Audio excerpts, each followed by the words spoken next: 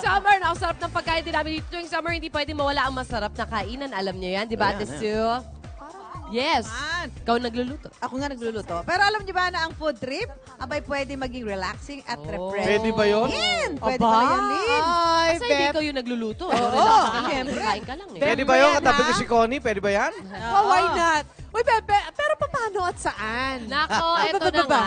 Yan ang bibida sa atin this morning ni Naklea at ng Wanna Boys kung saan ka pwedeng mabusog habang nagfi-fish pa ka pa. Wow! Guys, ihirit nyo na yan. Oh, may Fish sausawan.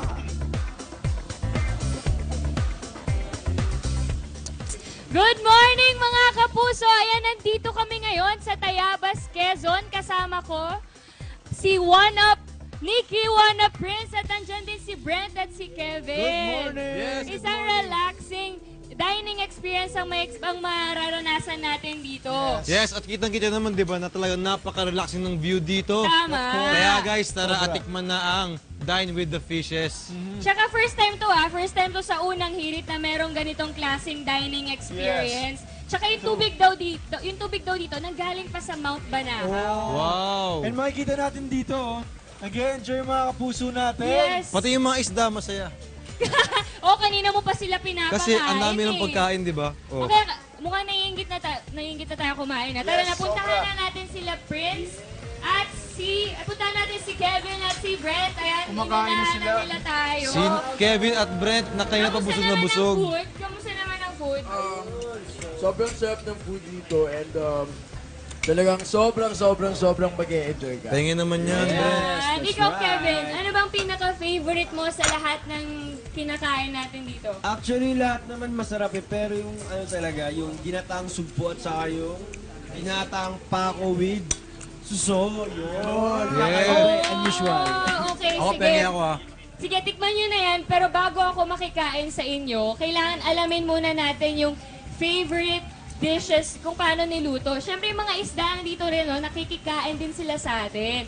Mga koi fish sila, kaya med, kaya maamo talaga sila. Pwede tayo makipaglaro, pwede nyo pakainin. Kaya habang kumakain kayo, pwede, makasa- pwede nyo sila makasabay kumain. Yes. Ayan! Meron din silang fish pellets na 20 pesos to 30 pesos lang ang halaga. Kaya kayang-kaya na yan. O yan, o, yung mga fish, lapit na. Pahinga ako. Ayan. Ayun yung mga fish, oh. Yan. Good morning, Kanina pa fishes! sila kumakain. Kasabay namin sila kumain actually. So feeling ko nag enjoy din sila dito sa, sa trabaho nila dito. Wala nang fish pellets. Wala na eh. Tayo na naman ang kakain. Ito, Ay, ito, ito, ito, ito, ito, ito. Pakain lang tayo. Dito, lagay natin dito. Ayan. Ayaw na na lumapit.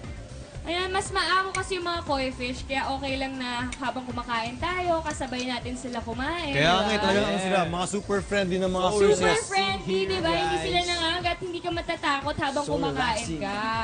Kasi mag, kasama mo sila mag-enjoy, pati yung mga food, inahabang yes. natin yung food.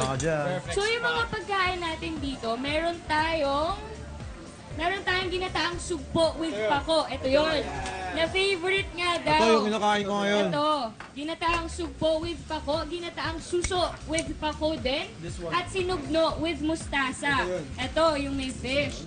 Tsaka meron, siya, syempre hindi mawawala dyan, yung pansit lukban. Yeah, pansit lukban Yes, kaya kayo. ensaladang pako. Ito, ensalada. Titikman ko lang, titikman ko lang. Ano nga ulit ang favorite mo dito, Kevin? Halos lahat talaga masarap pero yung favorite ko talaga yung ginatang sugpo with pako. at saka itong ensaladang pako at Ensaladang saka pako. Eh, kailangan natin malaman. Kailangan natin malaman kung paano yan niluto. Kaya, Prince at Nikki, samahan ninyo. Ano ba naman yung Yes. kaumpisa ko lang dito Bago eh? na kayo kumain, bago tayo makikain, kailangan alamin natin kung naman paano sila. yan niluto. Sila kumakain na. Babalik ako, babalik ako dyan. Tara, let's go. Tara na, tara na. Paano kaya niluluto yung ano na yun? Ayun na nga, kailangan natin tanongin si Chef. Ito na. Tsaka mga, tsaka guys, alam niyo ba, 1,500 to 2,500 lang yung gagastusin nyo dito. Sulit? Sulit na Sulit na sulit? sulit for 5 persons na yun. ha. Kasama natin dito si Chef Edgardo Rubio. Hello po, Chef. Hi, Chef! Good morning, Chef. Hello, Good morning, Chef. Good morning. po. So, paano ba niluluto yung mga yung Ginataang food natin ngayon? sugpo. eh, Yan, ginataang ensalada. sugpo at ensaladang pako. Ang papakita ko sa inyo una, ang pagluluto ng ginataang sugpo Yun. with pako. Ayun Siyempre, yung- meron tayong Pilig mo ako kanina eh. gata.